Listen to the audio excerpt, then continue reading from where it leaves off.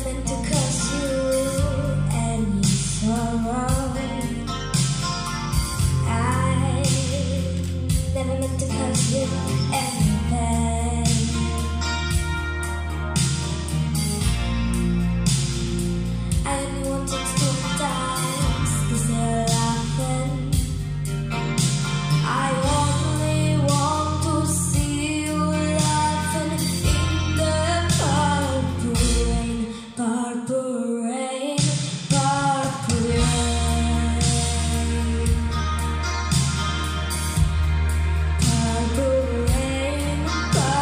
Yeah.